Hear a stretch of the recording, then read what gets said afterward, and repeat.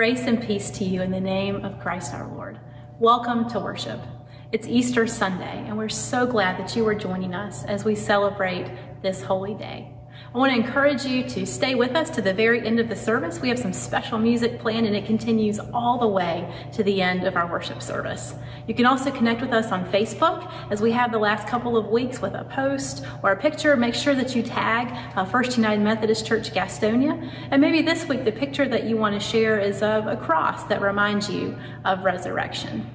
And now let us join together in worship. For Christ is risen, he is risen indeed.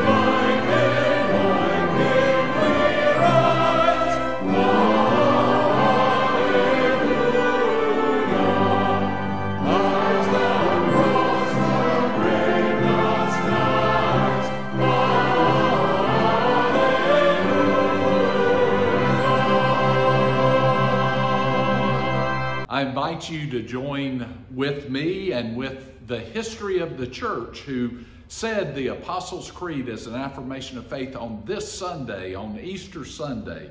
Let's say what we believe together.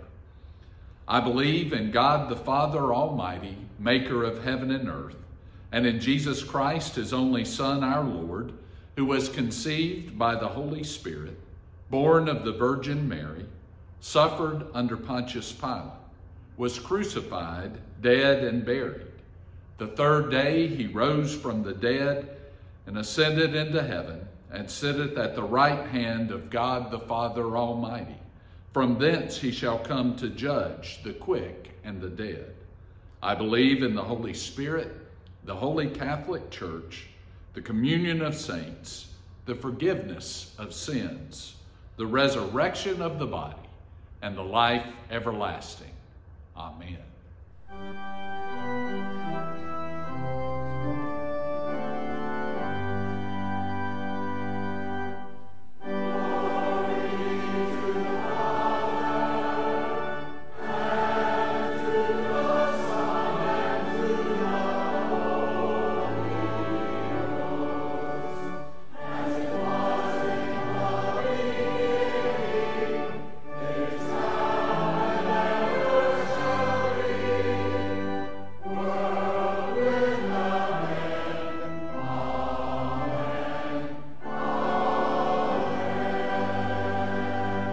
Our first reading comes from Colossians in the third chapter, verses 1 through 4. So if you have been raised with Christ, seek the things that are above, where Christ is, seated at the right hand of God. Set your minds on things that are above, not on things that are on earth, for you have died, and your life is hidden with Christ in God. When Christ, who is your life, is revealed, then you also will be revealed with him in glory. The word of God for the people of God. Thanks be to God. Hi, boys and girls. Happy Easter. I hope you're ready for our children's time. And some of you this week, we played a little game and we had an egg and we filled that egg with one thing and we wrote clues so we could try and guess what was in the egg. And if, if you haven't done that, that's okay. You've got plenty of time. You can get an egg and put something in it and keep it a secret and then let everyone try and figure out what's in that. So I brought my egg this morning and I wanted to share with you what was in my egg. So I'm gonna give you my three clues, okay? So the first clue is that it is a reminder of something that lasts forever. Okay, so it's a reminder of something that lasts forever. This is like a reminder egg, and it's a reminder of something new, and it's a reminder of the greatest gift ever. So, three things something new that lasts forever, that's the greatest gift ever. So, I'm gonna open mine up and show you what's in here, okay? It's empty. Did I forget it? No, the reason it's empty is because it's a reminder. It's a reminder that the tomb was empty.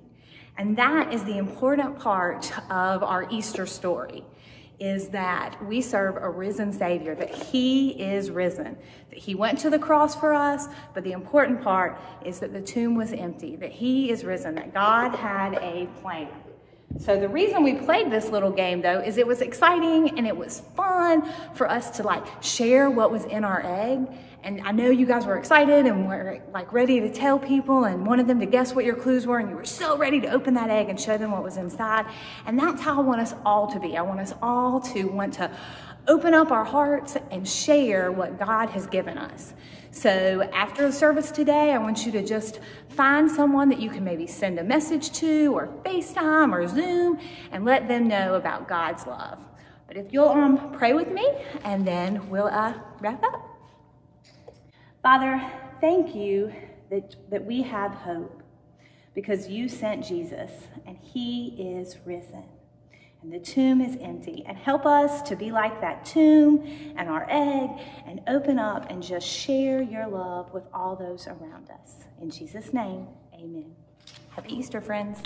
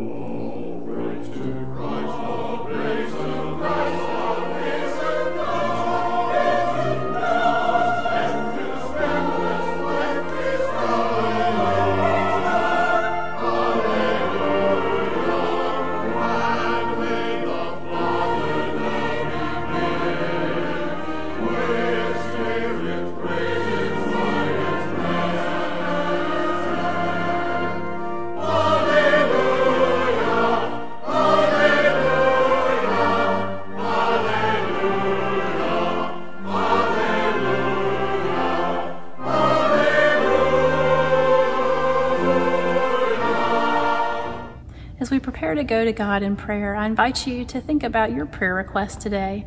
What joys and concerns are on your heart that you would like to lift to God? We continue to publish our uh, prayer list and the weekly e-blast, and those are names that we lift on behalf of our congregation and community to God. You also have an opportunity to share, if you feel comfortable, publicly on the comment section if you have joys or concerns, and you're welcome to share those privately with your pastors and your staff. Let us join our hearts in prayer. Almighty God, your Spirit abides with us this day and always on this holy day of Easter. We give you thanks from the bottom of our hearts for the great gift of your Son, Jesus Christ, who came in the flesh, became one of us, lived and walked among us, and who taught us that the greatest love is to give up oneself, which is what he did. And then, oh God, you raised him back to life, conquered death, conquered sin, and said, Now there is absolutely nothing that can separate us from your great love and your Son, Jesus. On this Easter Sunday, we celebrate that and we cling to that faith. We trust that there is nothing that can separate us from you. There is no sickness, there is no loneliness, there is no brokenness. Not even death can keep us apart from you. For in you there is love, there is life, there is victory. We remember, God, that first Easter, which began in darkness and quiet as Mary went to the tomb. We trust that you enter the quiet and the darkness and the painful places in our lives, and that you can also transform those into healing, wholeness, and life.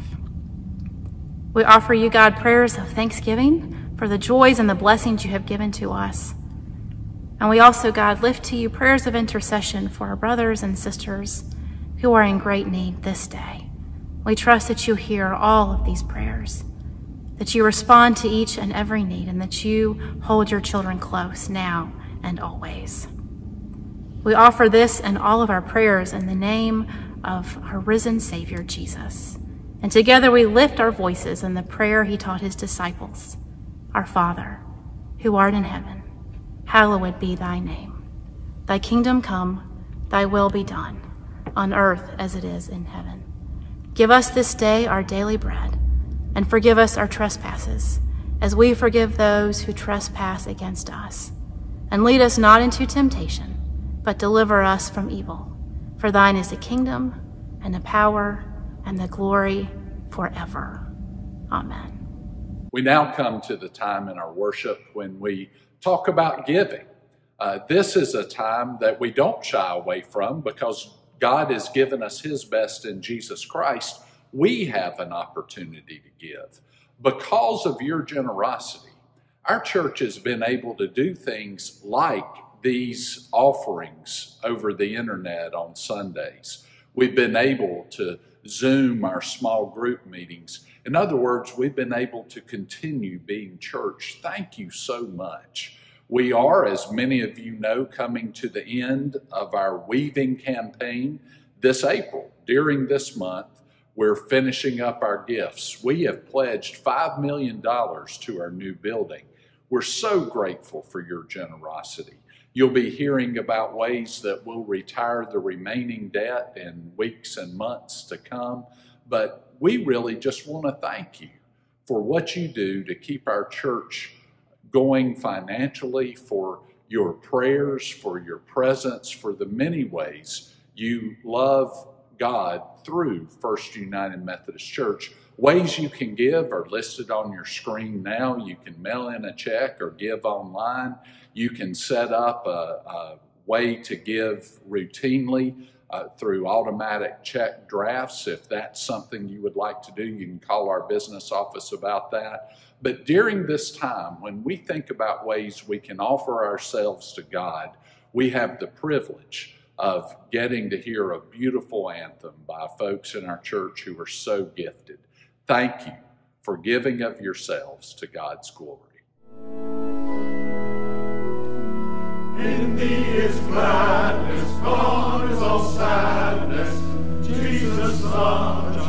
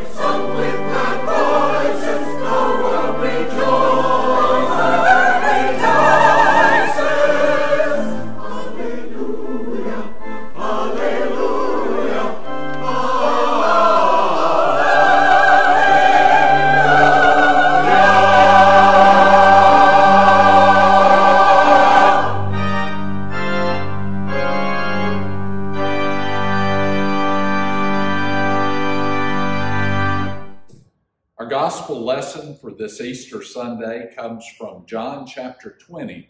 I'll be reading verses 1 through 18. Hear God's word. Early on the first day of the week, while it was still dark, Mary Magdalene came to the tomb and saw that the stone had been removed from the tomb. So she ran and went to Simon Peter and the other disciple, the one whom Jesus loved, and said to him, They've taken the Lord out of the tomb, and we don't know where they've laid him.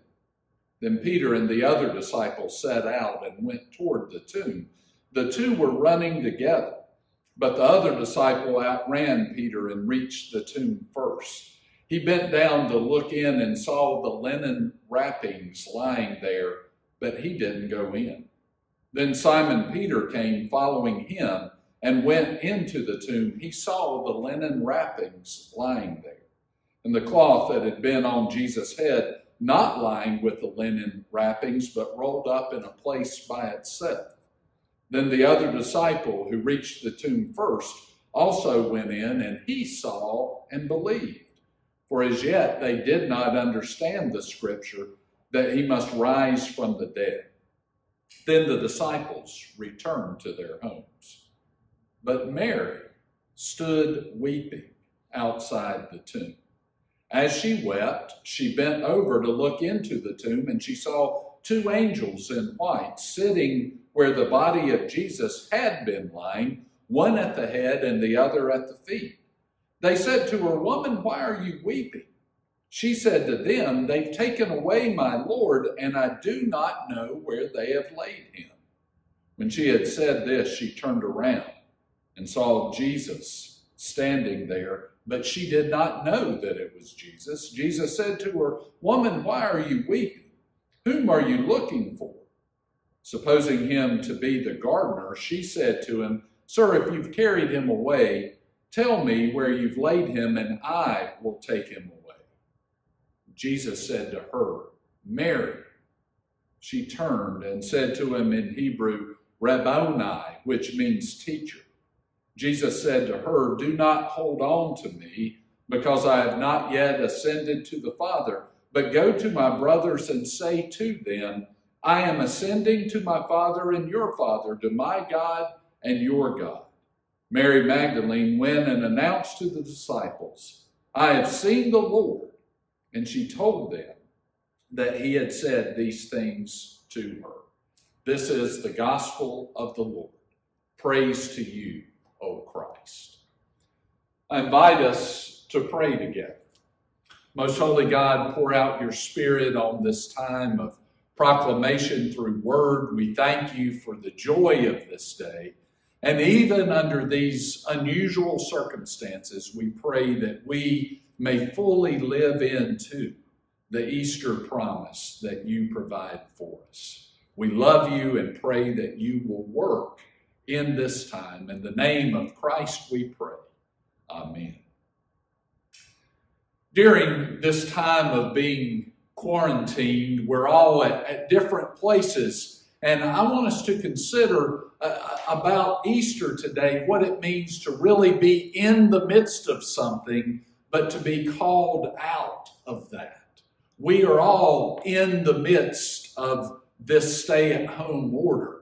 So, what is it that has sort of kept you in the game during this time? What is it that's kept you going during this time of having to stay at home? I confess to you that uh, I joined evidently millions of others this week by staying in by watching The Tiger King, uh, the train wreck that is The Tiger King on Netflix. Actually, made me feel better about my life, but it was interesting to get invested in something like that so I would stay active, so I would stay in what we're going through. I watched all the episodes. Uh, too often, I'm a person that stays in something by being invested in what I do instead of who God created me to be. So, this morning, I want us to think about what it means to be called out to be called out by Jesus, to be called out to a future, not called out from trouble, but called out to a future. There is a difference. Easter means the Savior of the world calls us to a future. How badly we need to hear that because we just want to be called out from this time and get things back to normal but, friends, we are here to proclaim there is a future with our Savior. Mary Magdalene is one of the ones who goes to the tomb in all of the Gospels. If you read Matthew, Mark, Luke, and John, each of them says that a different person or a different group of people goes to the tomb on that first Easter morning. But Mary Magdalene is mentioned in all of them. And in John, interestingly enough, she is the one who stays. She stays in the moment. Uh, I love this scripture. It says, Peter and the one whom Jesus loved, that we think means John, but we don't know for sure. But Peter and John run when Mary says, Hey, they've taken the body of our Savior and we don't know where he is. They run, one of them goes in, one of them looks. It says, The one whom Jesus loved believed, but as yet they did not know what the scripture meant that he must rise from the dead. And then it says, They went to their homes. The greatest good news in the world, and they go, Huh, and go to their homes. But Mary stays. Think about that. She stays in the moment. The scripture says she stayed outside of the tomb weeping. It's in the depth of her grief, in that moment, that Jesus calls her out to a future. At first glance, we may think that Jesus calls her from her grief, but no, he calls her to a future. In our scripture reading this week that we're doing as a church and reading through the whole Bible. One day, I think it was Tuesday, we read from Exodus uh, chapters 5 through 10. And in Exodus, uh, it is a story about God calling Moses to go tell Pharaoh, Pharaoh, Pharaoh, oh baby, let my people go. And he is supposed to say that, but he doesn't say, let them go because they're in bondage. Over and over and over again, he says, let them go so that they can worship. They are not called from bondage. They are called to a future where they can worship their God. God's people were called out to a future. We are as well. We get so used to being called out from something. My uh, one of my big memories as a, a teenager before I got my license in our neighborhood in Albemarle, all of the uh, pre-drivers got together at the end of a cul-de-sac on our bikes on Friday and Saturday night, and we would just talk and play, not doing anything bad. But unfortunately, where our house was, the garage door sort of looked down on that cul-de-sac, and I, my parents had the earliest curfew of any of my friends. I had to be home at 10. And if I wasn't home at 10, at 10.01, I would hear that garage door. And there, my daddy would be standing in his boxers and no teeth, going, David, your mother says it's time to come home. And I was mortally embarrassed. But he would call me from that time to come home. We get used to that. It's, it's the difference of being called to a future. It's what Avery read about in the book of Colossians to set your minds on higher things, not the things of the earth, to be called to a future. Easter means you and I, even in the midst of a pandemic, are called to a future. So let's consider that for a moment. Because here's the kicker because of Easter, we are actually called by name as individuals. This isn't just, hey, Gastonia, hey, First Church. This is, hey, Bob, Sue, David, Alyssa. Each person, you are called to a future. All of us have stories. All of us have stories of being called by name. That's how we know that it means something. My mother, until the day she died, I knew I was in trouble when she would say, David Harold, and then it could be any number of things. But I knew that that meant business when she called me by my name, David Harold. You see, this scripture Mary's future started when Jesus, after she thought him to be the gardener, said to her, Mary. It was then that he knew who it was. And what I love about this is this is real. It doesn't say like the Brady Bunch episodes I've been watching on Sunday afternoons. Uh, they have the Brady Brunch on Sundays. Anybody that wants to watch it on Me TV, best TV on TV. But on the Brady Bunch, anytime there's a problem, everything is resolved and they all live happily ever after. Folks, this is real life. She is called not to live happily ever after. She's called to action. She's called to tell the disciples and share the message. That's our calling. We are called to a future by name in order to share the message. Uh, I remember this week we were filming, we've been doing a lot of that. We were filming for uh, Easter Sunrise. Uh, Alyssa, our wonderful Communications and Family Life Center director, wanted to be sure that we actually did it authentically. So we were coming early on Tuesday morning and I pulled up Oakland Avenue to park my car to come in uh, that side door. And I saw a friend. I've been here eight years, and we've made friends with people downtown. And uh, there's a fellow who has had a rough time over my eight years here. He's had some good days and bad days, but we have sort of lived through some time where I had to say, I'm sorry, we can't help you anymore. And I saw it. And I thought, oh, I got to get in there and get this filmed. I do not have time to deal with him. Forgive me, but that's what I thought. Parked my car and tried to get across and get in the door before he could say anything. He was crossing Franklin Boulevard. And I heard, David! He called my name. I had to stop. And I walked up to him. He walked to me. We kept our distance. But he said, I know you can't help me. I don't need anything.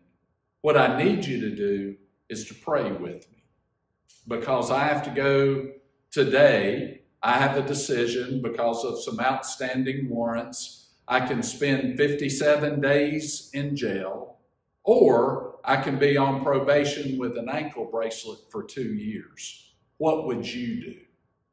And I told him, look, I, I don't even want to say because I, I have no idea. I, I haven't been in those shoes and I don't I don't want to influence your decision. I hope you'll talk with a lawyer. And he said, Yeah, I'm talking to my lawyer today.